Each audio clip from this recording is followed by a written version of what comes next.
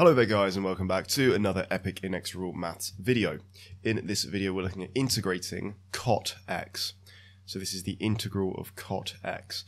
So the integral of cot x is also uh, one that we can do by using the reverse chain rule. So we can rewrite cot x as its definition. Its cot is by definition 1 divided by tan, uh, which is 1 divided by sine over cos, meaning that cot x is cos x divided by sine x, just as tan x is sine x over cos x, cot x is cos divided by sine.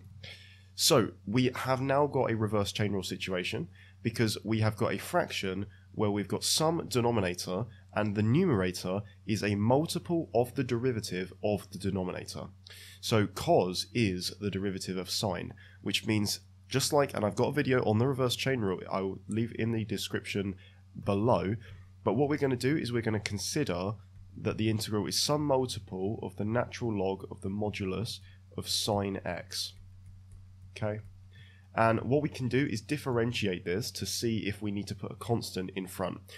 Um, and of course it would be a plus c, but we'll do that at the end. So when we differentiate the natural log of sine x, our derivative here is going to be, well, the derivative of sine is cos, so it's going to be cos x over sine x. Huh, but that actually is cot x, which is exactly what we want this time. So unlike the integral of tan, when we would need to put a minus in front, uh, we actually don't need to put a minus in front this time.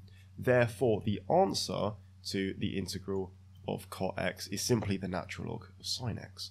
So the integral of cot x with respect to x is the natural log of sine x. And of course we can do a plus c as well for good luck. So the integral of cot x dx is the natural log of sine x, and that's by the reverse chain rule. Thank you guys so much for watching, highly appreciate it, and I'll see you in the next video. Cheers.